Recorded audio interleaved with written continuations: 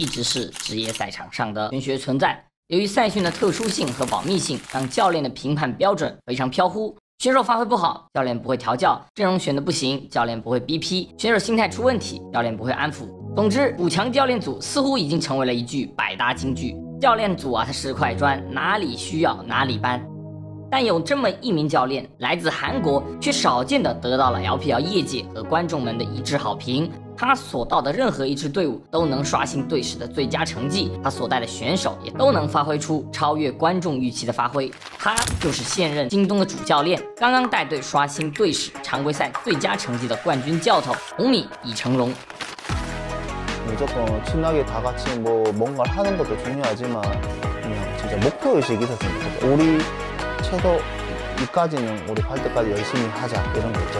这里是红学家袁某人，这是时隔不知多久了的个人分析系列之教练篇啊。对于普通观众来说，教练的作用并不直观，除了在纪录片里报圣经以外，观众们对于教练能力的强弱很难有一个直观的标准啊。其实不仅是观众啊，即便是业内也还未建立能够准确评判教练能力强弱的标准。所以本期呢，为了让大家更好的了解红米，了解教练赛训。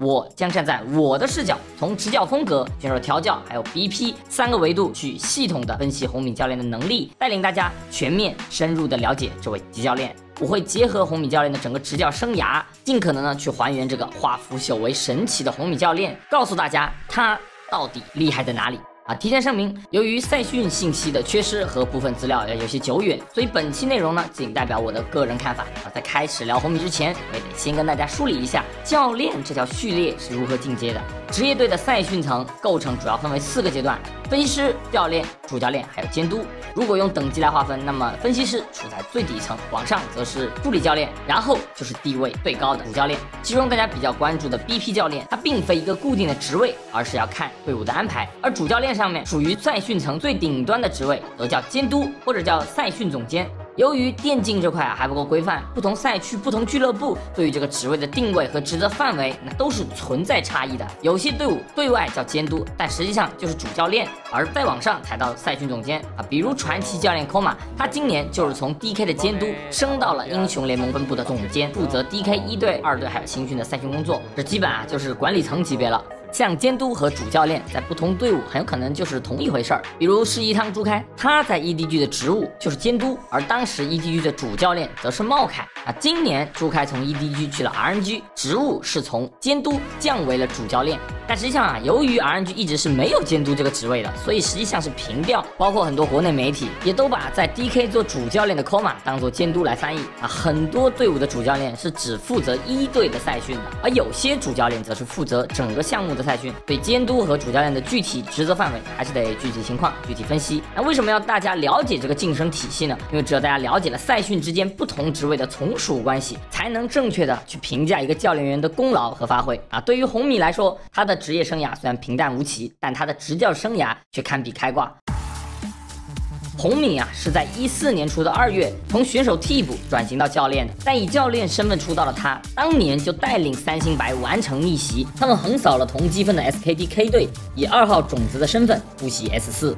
在世界赛中更是开启杀猪模式，以恐怖的统治力捧起了 S 四的召唤师杯。在 S 四那个还在采用三班教练不能上台 BP 的时代，红米已经展示了他作为教练的带队天赋。但在红米这段传奇教练的经历背后，却有两个男人被掩盖在了历史的层层迷雾下。在 Fandon 的记录中，彼时的三星白坐拥的是三个教练，一个名叫 Troy，一个叫 Doggy。Troy 全名叫崔庸宋，就是图中的这个男人。这个崔教练在红米还是职业选手时，就已经是当时的 MVP 欧纵的教练暨监督了。而 MVP 被三星收购后，崔庸宋开始了担任三星的总教练和管理者。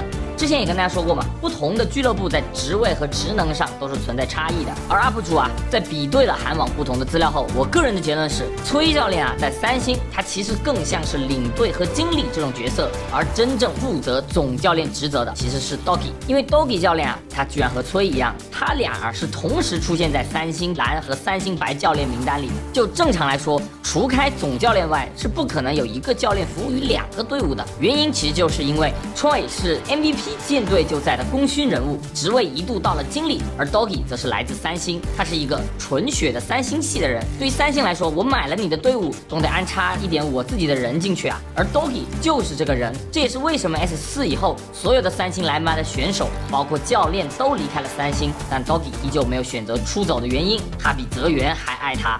那对于红米来讲，这两个人都是贵人。崔教练啊，在 S 四的采访说，来到三星后，是他请求上面管理层增加教练资源的。那这也才有了后面蓝白队各有一个单独教练的出现，也就是三星蓝的教练班霸子和三星白的红米。在那个教练员稀少的时代，Troy 的前瞻性让红米越过了从分析师开始熬的这个阶段。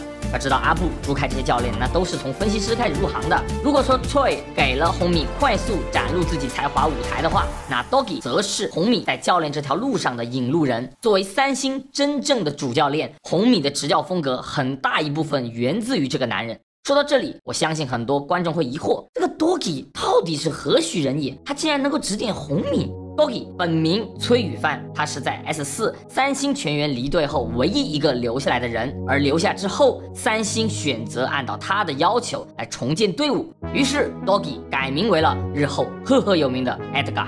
Edgar 是三星时代的缔造者，是和 Koma 一样宗师级别的教练员。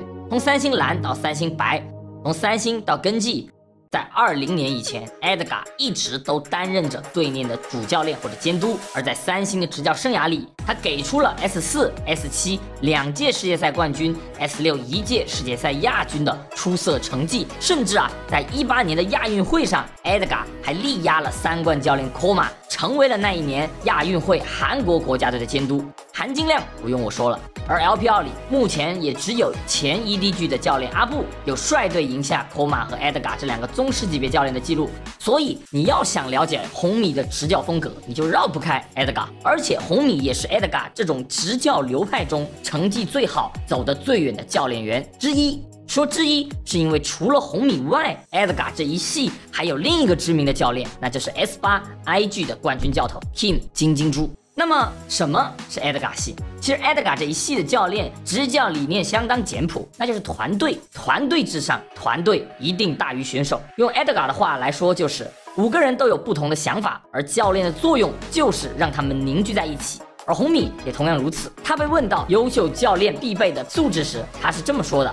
선수들은 사실 다들 잘하는 선수들이 많다고 생각합니다. 하지만 이거는 1대1 게임이 아니잖아요. 듀오 게임이기 때문에 팀 게임에 대해서 배워야 될 부분이 참 많다고. 사실 5대5가 아니라면 그냥 뭐 솔로 랭크만 해도 문제 없어요. 팀워크를 배우기 위해서 알려줄 수 있어요. 그게 제가 생각하는 거죠. 当然，几乎所有的教练都会希望自己的队伍打的团队，这似乎是一个正确的废话。但区别在于，Edgar 系的教练在对于构建团队上是没有所谓的绝对核心的。你再有天赋，你再突出，但都得给团队和版本让步。卡纳米，你再有天赋，我也不会无止境的让他玩野核那种明星选手玩的舒服而队伍不舒服的阵容。红米的 BP 是几乎不会出现的。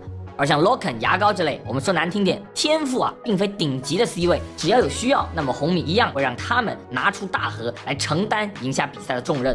可以说，队伍只要有需要，那么人人都可以去当狗，人人也需要去承担 carry 的责任。所以，相比于 Koma 这种放大明星选手上限的执教思路，Edgar 系的教练更善于挖掘、调教那些天资不是顶级但足够努力的选手。但这种抛弃个人英雄主义的舰队思路有一个必要条件，那就是教练对于队伍话语权的掌控度得高度集中。但 LPL 和 LCK 的环境是不同的，LPL 没有长幼尊卑的传统观念束缚，选手们拥有更大的话语权。所以在 VG 的那段执教期间，红米就表示过，选手们过多的自由意志和权力让他感到疲惫啊。跟很多 LPL 教练啊喜欢跟队友称兄道弟的相处模式不同，Edgar 系的教练都是清一色的严师，因为你不严格不行。就像红米 说的，一个优秀的教练是不能和选手太过亲近的。 선수들하고 친하게 지내는 코치가 맞다고 생각하지 않아요. 그렇게 되면은 자기의 그런 자리를 유지하기 위해서 자꾸 눈치 보게 되고 뭐 그런 걸 신경 쓰게 되거든요.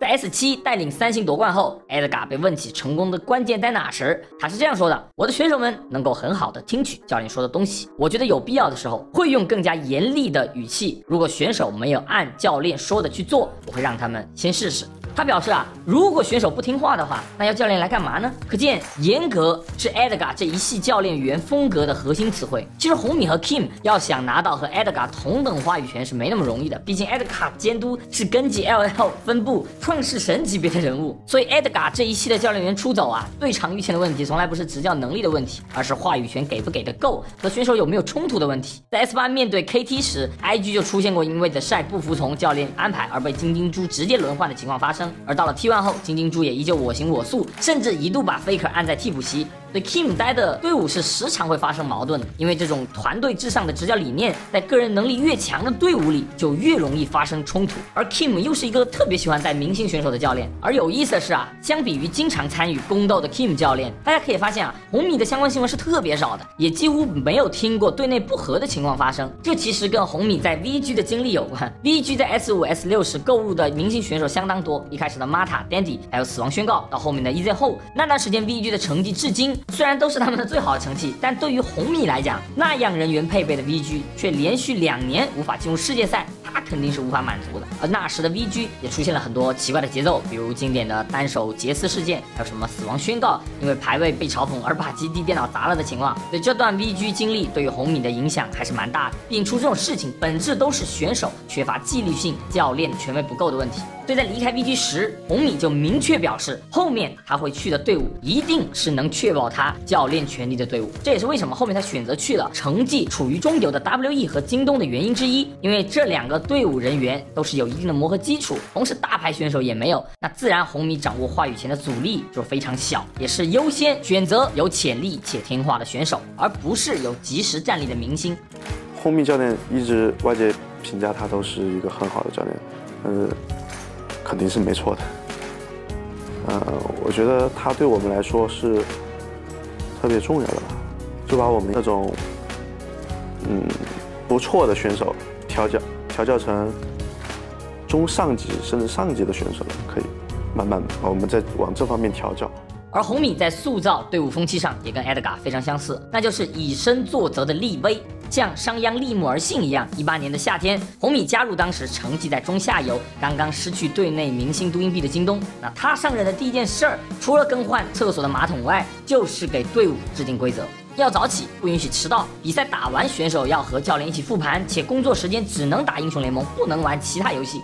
那红米是这样说的：这些规则也会要求我自己做到，在训练室里，我绝对不会玩其他的游戏，因为教练如果不能以身作则的话，队员们是会效仿的。整个队内的风气就会变得很不好，而这种一视同仁、以身作则的严格，立马能够让选手意识到教练的不同，既能获得信任，也会约束选手，让选手们能够快速的从顶级玩家到职业选手去改变。那打职业是什么？就是职业呀，是一个目的只有赢的职业。所以在红米执教的队伍，队内风气是一直积极向上的，队内氛围是非常有保障的。有一个好的风气，选手才能快速的去改变自己不好的习惯，完成蜕变。就跟大家在一个图书馆自习室里就会不自觉安静是一样的道理。这也是为什么红米这么得到大家拥护的原因，因为他带队的效果起得太快了。在一八年春季赛，京东还是十胜九负，与东部第四、全联盟第七的成绩，但在红红米加入后，夏季赛京东立马就进步到了东部第三、全联盟第四这样一个位置。而季后赛，京东更是从春季赛第一轮就被零比三横扫的弱鸡，进化为了搅动格局的超级黑马。一八年的夏季赛季后赛，京东首轮就三比一击败了 EDG，随后虽然以二比三惜败给 IG，但在三四名的争夺战中，他们以三比零横扫了当时的 RW。说实话，一八年以二比三输给一八年的 IG 也不丢人。最终的冒泡赛虽然也是被 EDG 以三比二击败，无缘 S 八，但一个赛季红米已经带队刷新了京东队史最佳成绩，从一个中下游的守门员队伍一跃成为了世界赛门票的有力竞争者。而你要想，那时的京东队内最有名的也就是可立的这个刚出道的二年级生，所以红米带队啊，怎么样都能有八十分来打底，就非常恐怖。红米在 WE 出成绩也非常快，一六年下的 WE 二点零是刚刚有起色，但 S 六毕竟是猪狗的时代，第一梯队的 EDG 和 RNG 和第二梯队差距超大，WE 啊当时也最多算一个第二梯队的前列，而红米在 S 七一加入，马上在一七年的春季赛带队拿下十二杠四的常规赛成绩，直接和那年的猪狗一起并列全联盟第一。在春决上，WE 更是三比零横扫了刚刚击败 EDG 的 RNG，这就是红米啊！他这种立规矩、树新风的方式，能够让队伍有更好的氛围，而他团队至上的理念和调教风格，也让选手们能够最快的去掌握运营的能力。而这种刻入骨子对于团队的追求，也让每一届红米带过的队伍都充满了很强的整体性。漫画《灌篮高手》中，安西教练对古泽说的话，就是对红米教导选手思想的完美诠释。那就是队伍不是因为你而存在，而是球队需要你，你才能在这里。那即便在元年前那个 LCK 统治的时代，来到 LPL 的红米也坚持认为啊，LPL 和 LCK 在个人能力上是没有差距的，差距只在团队这一点。可道理是这么个道理啊，要怎么把这种团队的概念教到选手，那就涉及到了本期的第二个环节。选手的调教，我们都知道，每一个选手有不同的风格，而这个风格的本质是什么？是习惯。选手们在场上的每一次操作、每一次抉择、每一次站位，都有属于自己的习惯，就像左撇子和右撇子一样。而对于教练来说，如何去修正这些习惯，就是调教选手的关键。事实上，大部分的教练并不是不知道选手的问题，关键在于他教不会，他改不了选手习惯所带来的操作惯性，俗称叫说不听，反而会因为啊过度的说教，影响到选手的心情和队伍的氛围。所以这个度非常难把握。你这样的优势的杰斯，你这么打团，对得起你前？面的优势吗？但红米是我目前来看，在 LPL 乃至全世界的赛区都非常善于调教的教练，没有压力的，笑着玩，都笑着玩。那为什么他能够比别的教练更好的调教选手呢？难道就光靠一个严格吗？不，更重要的是红米的自信。他不止一次的表示，选手们只需要做好操作部分，剩下的运营能力的调教全部交给我就行了。甚至他能够说出啊，如果成绩还上不去，那就是我的问题。这样的话，这就是红米对于自己带队执教能力有多自信。而他的自信还体现在对于游戏的理解上。在 S 七洲际赛时，红米是最先要提出要和其他教练通力合作的人。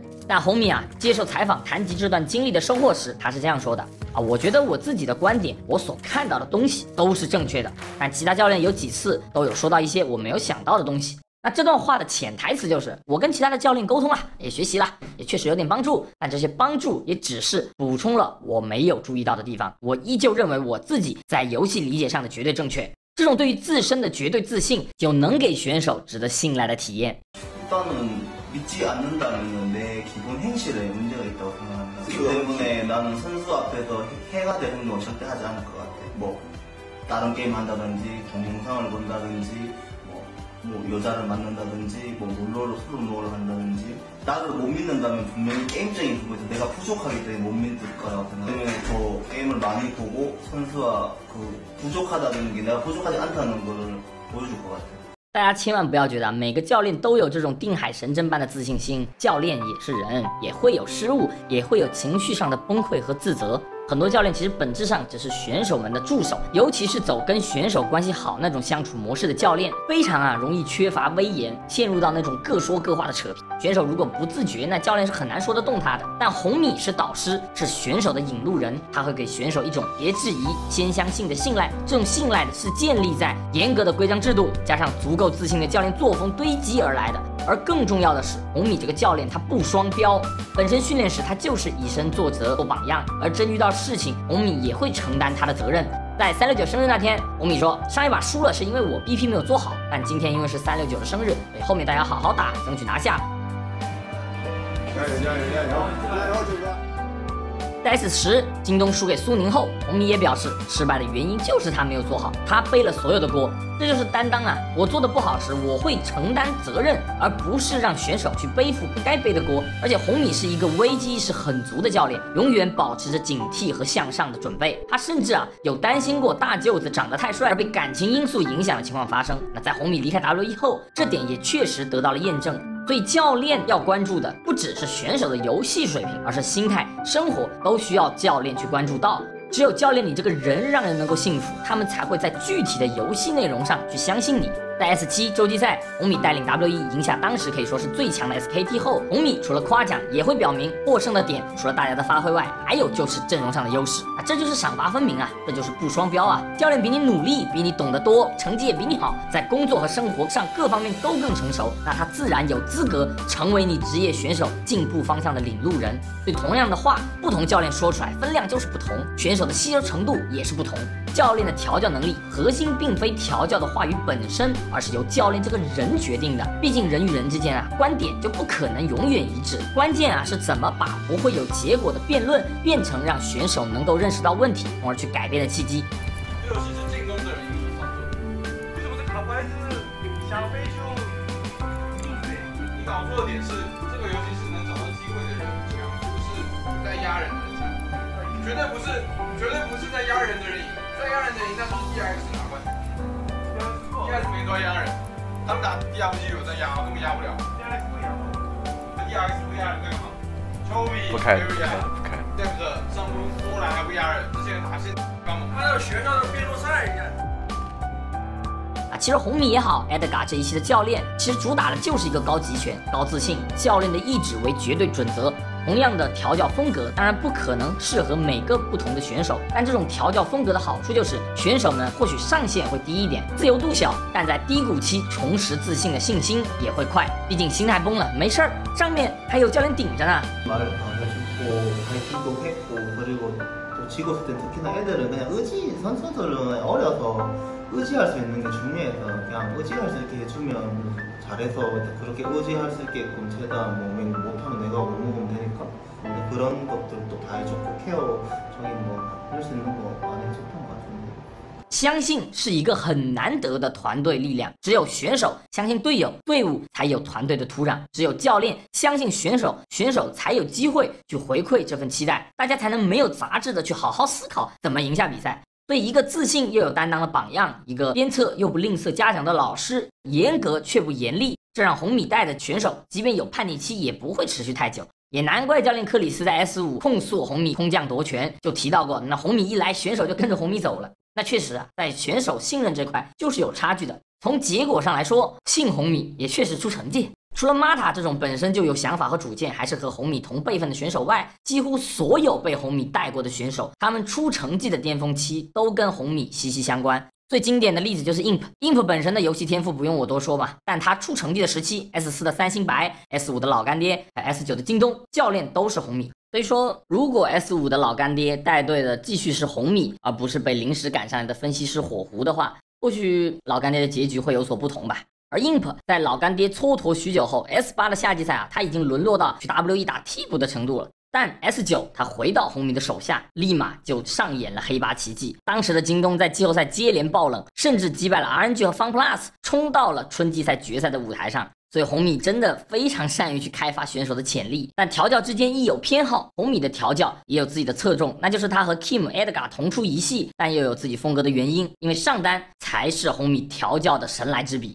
上单这个位置啊，由于单人线的特性一直存在一个问题，那就是团队资源倾斜的回报率太低。即便啊一个队伍狂帮上路，但上单特性就是会长时间的远离大部队，所以要想回馈团队的这份投入，上单是要远比其他线要困难的。而同样的理由，上单也有另一个潜台词，那就是一旦上单被突破成了缺口，那团队要想弥补这个缺口，也比帮其他路要难。而红米作为二十八岁才出道的上单，他在这个年纪能够踏入职业赛场，肯定不是因为他的进攻性多强，而是因为他深知如何不给队伍添麻烦。而不给队伍添麻烦，不只说你选个肉在上路混就行，实际上只想混的上单往往会养一个大爹。而红米对于上单的调教核心就在全面二字，懂进攻才能更好的防守。所以大家把红米带过的上单放在一起看，就可以发现，从三星牌的 Looper 到 VG 时期的龙，再到 WE 的九五七，京东时期的 Zoom，包括现在三六九，这些选手都是全能上单，不是德赛阿勒宾这类进攻性拉满的选手，也不是金贡 Lamy 这种主打抗压和防守反击的上路，而是万金油。当队伍需要我作为战术轴心时，我能够承担起 C 位的责任；而当队伍需要我去防守时，压而不崩，完美发挥蓝领的职责。万金油的好处是，队伍的战术选择会非常的丰富。英雄池深不见底啊，是这类上单的特征。除开红米这一系外，其他比较有名的这类上单就圣枪哥 Nagri 了啊。没错啊，牛宝在我这里其实是和圣枪哥九五七风格类似的，只是 Nagri 的侧重还是更进攻一些。而从 Looper 到九五七，从 Zoom 到三六九，这些上单在红米的手下都会自带一个 buff，就是不会穿线。不穿线啊，不是说不被单杀就行，而是他可以劣势，甚至自己去失误，但他不会成为对方的突破口。劣势我也有用，即便是出门耀光、痛苦面具的那一局啊，Zoom 的发挥都是可圈可点。所以从 Looper 到九五七再到 Zoom，包括龙，他们给队伍甚至是粉丝最大的一个感受是什么呢？是可靠。很多上单大家讲起来会觉得他很强，个人能力很出色。像阿勒宾这种选手，他们确实有非常鲜明的个人风格，但这种风格化的上路选手也常常会成为队伍的双刃剑。作为一个明确表示会对上单有格外关照的教练，在红米的游戏观中，上单作为一个远离团队的单人线，反而更需要团队意识来打破平衡。这里补充说明一下，一个上单具有很强的团队意识和为团队牺牲是不同的两个概念。具有团队意识的上单，并不是只能奉献给队友，而是他很明确的知道团队的需求，从而做自己该做的事情。他考验的是上路的整体意识，结果就是他必然会全能。而万金油全能系上单也需要天赋的，并不是说适合每一个上单。目前我觉得有望往这个方向发展的新人，只有 OMG 的上单山鸡啊，这是个人观点。而红米在挑选上单的眼光确实也是狠的。就拿三六九为例，他的进步我觉得是肉眼可见的。在今年初，他从滔博去京东前，我想很少能有人想到他现在已经有了国产第一上单的风范。教练天天给我洗脑，他说我可以成为第一上单什么的，然后都让我好好玩。其实吧，三六九在滔博时期英雄选择并不算少。但很少有人会说三六九的英雄池很深厚，反而会说他没有晒命得了晒病，因为他的英雄池啊是深而不厚。滔博时期三六九的看似很多多样的英雄选择，反而是团队的负担，而来到红米的麾下，立马就是先给你洗脑啊，再教你正确的理解团队，效果就立竿见影。因为在红米的眼里，三六九本身就有这个天赋啊。这里自夸一下，我在二零年 MSC 视频的时候，我当时就认为三六九其实最佳的进步模板不是什么 The shy，而是 Looper 这样的全能上单。而现在三六九也越来越往 Looper 九五七 Zoom 的这个方向去进步了，所以总结一下红米的调教能力吧。两个重点，第一是绝对自信的执教气质，搭配严格而又不双标的相处模式，让选手快速的相信自己。第二，精准的眼光，准确的灌输给选手队伍需要的方向，用自己独到的眼光去帮选手快速的去改正之前的陋习，培养符合队伍需求的特质。而调教完后，当然是所有教练都逃不开的，最后也是最关键的一个环节：BP 能力与版本的挖掘能力。일경기졌을때적적팀입장에서어떤챔피언제일우리한테위협적이었고잘하고우리팀이길수밖에없는이제그런핵심픽들을내가아마무조건많이넣었을거예요그래서그냥 실수도덜했고 首先，ban pick 的结果肯定是教练和选手共同去做决定的，但问题是啊，很多时候啊，教练不一定选得好，而选手的意见也不一定对。跟我第一盘打弗兰提克一样，那阵容看到我都不知道怎么赢。我当时就是很想说了，但我也没说。我这个阵容一看，我知道又要输，莫名其妙的感觉。我们这英雄选出来都是，对，就我们玩的好的这些英雄就选。就这样的，我我感觉就这样。那谁应该为 BP 的实力负责，一直是一个老生常谈的问题。那我个人的观点是，教练一定是为 BP 的最终结果负责的，因为任何阵容都是教练去做最终的判断，选手不按安排去选择英雄的情况下非常少见。选手们时常会在 BP 时有自己的想法，这很正常。善于倾听和接受选手的灵光一现固然重要，但维持教练自身的判断也不算错误。电子竞技一切都是结果论的，但教练呢，作为有阵容决定权、队内更年长、视野更开拓的角色，那他承担起 BP 结果的责任，我认为是理所当然的。我오래하죠그냥그이쯤되면오른챔대하면안되그냥我觉得，我也觉得可以。就这样吧，相信吧，相信吧，相信吧，相信教练吧，相信教练吧，相信형믿어요형믿는데 所以，对于教练这个位置来说，在认知版本和处理版本的方式上，也有截然不同的流派。我把他们大体分为人宗和板宗。人宗以选手个人为主，版本为辅。只要选手发挥的好，那选手擅长的就是版本，也就是所谓的没有版本英雄，玩得好的人自己就是版本。这类理解的教练里，比较有代表性的就是叉烧了。S 十那年，他和苏宁的 BP 可谓是独树一帜。而选手里比较有代表性的，则是 S 五的 Faker。那年一手逆版本的瑞兹，硬是把这个冷门英雄。打虚弱了。那版中在理解上是完全相反的，版本为主，选手为辅。我先思考这个版本的优先级和强势英雄，再通过训练赛去选择合适的组合，最终优化 BP 和运营。版中最经典的战役莫过于 S 十一的 DK 与 EDG 的决赛大战，两边本质都是打同一个版本理解，只是套路与细节存在差异。而红米教练自然是板宗这一派的。如果说人宗队伍最怕的是选手状态的起伏和下滑，那么板宗队伍最怕的就是英雄联盟设计师了。一代版本一代神这句话不只是英雄，也说队伍。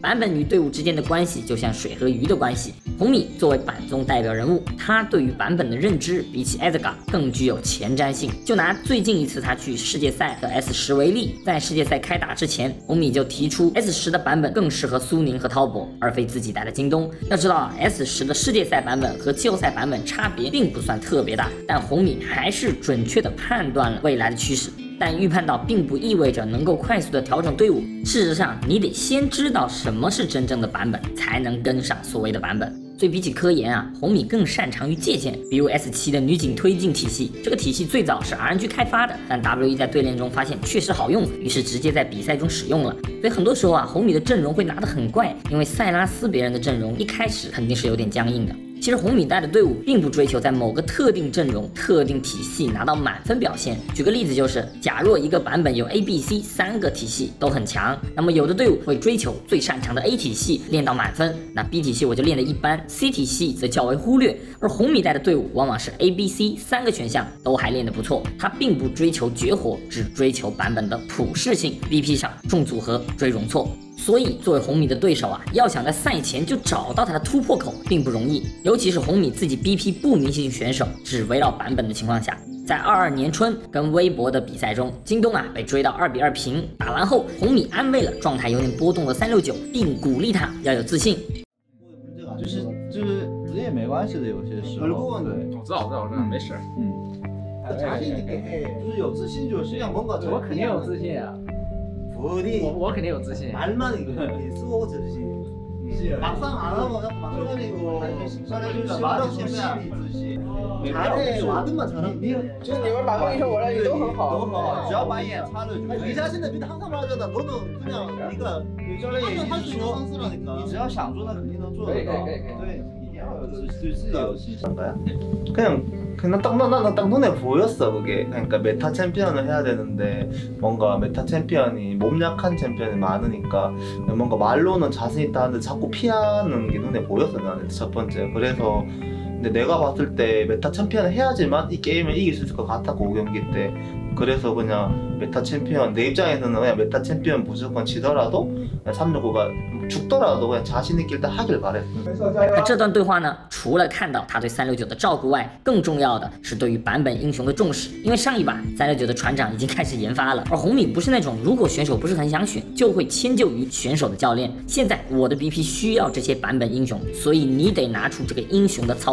自信来。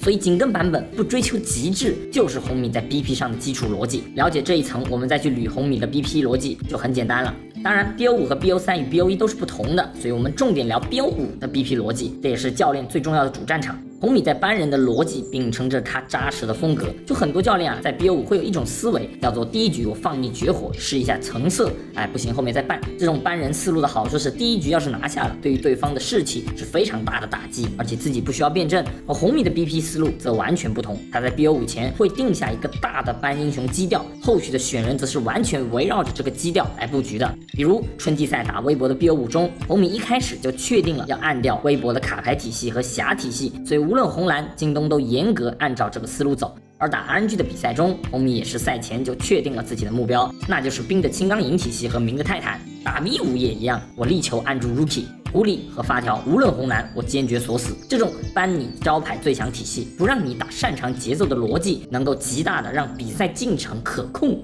我们继续拿 A、B、C 体系为例啊，对手可能是 A 体系最强，所以我固定处理掉 A 体系，然后呢，在剩下的两个体系里，我不断的练对抗和找破局点。那这种通过固定班去帮助队伍收窄对抗的范围，算是一种类似于田忌赛马般的班人策略。因为 BP 的本质就是扬长避短嘛，所以如何运用有限的班位，每个教练都各有取舍。红米是典型的班位拿来限制的类型，有很多教练啊是喜欢打长板局的，也就是我拿我喜欢的阵容，你拿你。喜欢的阵容，大家硬碰硬办的是队伍擅长体系不喜欢碰的英雄，而非对手擅长的英雄。而红米是尽量让对手阵容不顺手不舒服，从而来逼迫你失误的。而一旦对手进入红米的节奏里，阵容往往会越选越烂。比较经典的就是 S 九，当时常规赛排名第八的京东碰上常规赛排名第一的 FunPlus，这个 BO 五的红米完美的展示了他这种班选策略的优势。独赢 B S 九春季赛用的最多的冰女最顺手，所以我不想碰，按掉。在上一轮 BO 五发挥非常好，且存在摇摆可能性的版本强势塞拉斯也办掉，最后刘青松和杜云碧能摇摆的加里奥也办掉，然后呢抢下方 plus 非常喜欢的瑞兹加挖掘机这对中野，基本上就是你擅长的，我要么办要么抢。这局虽然输了，但逼出了杜英碧的中单莫甘娜，所以红米立马微调。第二局呢，在维持冰女班的情况下，放掉加里奥，改办莫甘娜，再把之前二轮班的阿卡丽抬上一轮班，自己则抢塞拉斯。而这一局放出来的加里奥辅助效果非常一般。京东拿下第二把后，红米就能确认加里奥可以不上班了。于是，在后面的对局里，加里奥这个英雄的优先级开始降，京东不需要抢也能拿到了。确认你最擅长的不放后，就开始靠英雄选择来找你弱点。在后三局，京东都是红色方的情况下，红米班位再也不变了。最终第四局，绿毛掏出压箱底的巴德，帮助队伍成功红破蓝，翻盘了方 plus。方 plus 在前四局都是前三班不动的情况下，被逼到了生死局，不变阵也不行了。可红米是主动变阵的，而对手是被逼变阵的，心里是完全没底的。尤其是还是被逼得变阵的情况下，结果就是战马放出皇子，然后以抢代班。但这完全是红米预料到的，直接反手抢走了优先级，已经在降低的加里奥。方 plus 阵容的 BP 逻辑就完全碎掉了，后续选的跟皇子就完全不搭。这不是方 plus 想的，而是被红米逼的。这就是红米的 BP 哲学啊！要知道这局京东的打野小夫已经是顶级战犯了，方 plus 前期有优势，结果还是输了。核心就是因为体系拿的太不顺手了。这就是红米的 BP 精华，拢共有三手。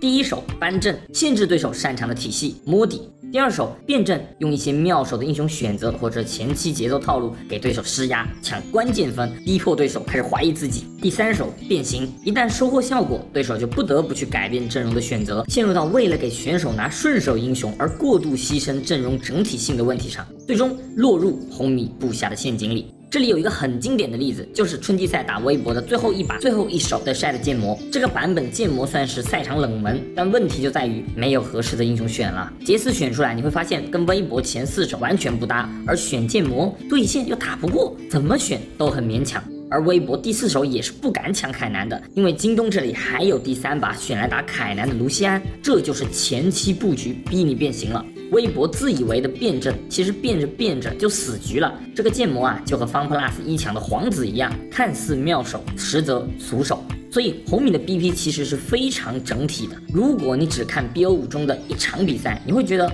红米的 BP 好像也就这样吧，甚至有时还会有点怪。但你放大到一个 BO 五来看，你就会发现红米的思路和规划都非常清晰。所以呢，红米一旦在版本英雄的英雄池上占据上风，那么它在 BP 给的压力就会非常的足。OK，我们最后总结一下，首先红米是一个非常严格、非常典型的老师型教练，并且对于自己的执教非常有自信，同时以身作则，能够给予选手很大的引导，也非常容易和选手建立信任。而他的执教理念则是团队至上，其中他最擅长调教上单，能在保留上单选手本身进攻性的前提下。赋予他顶级蓝领的能力，而对于版本的嗅觉，红米也非常敏锐且自信，在 BP 上更是把如何限制对手长板发挥的淋漓尽致，是 LPL 最顶级的教练。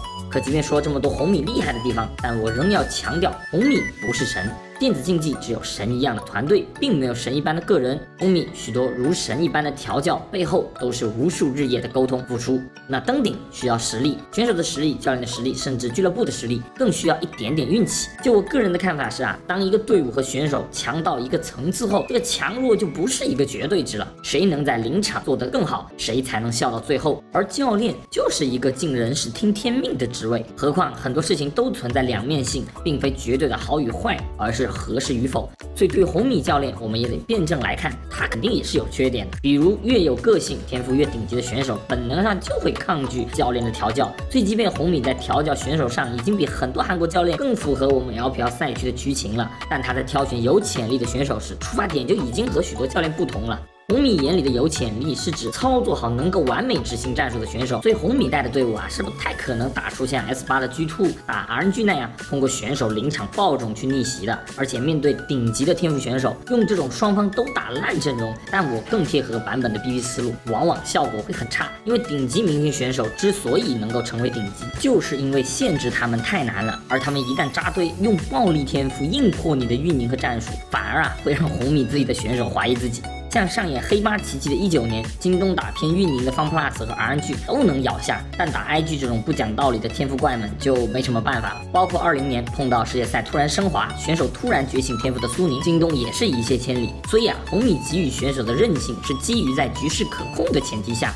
他不怕你不运营，就怕你乱拳打死老师傅。比起那种起伏很大、比较吃选手状态的队伍，红米更擅长去应对运营队，这是没办法的。你不可能又想选手有创造力，又想选手像机器人一样完美的去执行教练的战术。但话又说回头，他能够让许多优秀的选手打出顶级选手的表现，能够给予他们和巨星对抗的舞台，已经证明了红米有多传奇。这就是教练员的世界，不同风格、不同时代、不同队伍，但他们在我们看不到的地方都有写下自己的故事。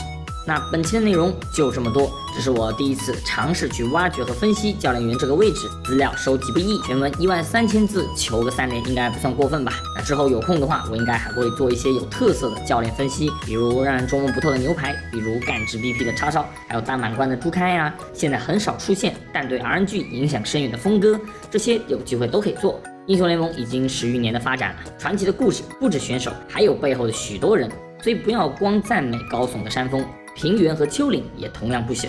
那我是袁某人，喜欢看比赛、看电子竞技的观众可以关注一下我。我们下期再见吧，拜拜。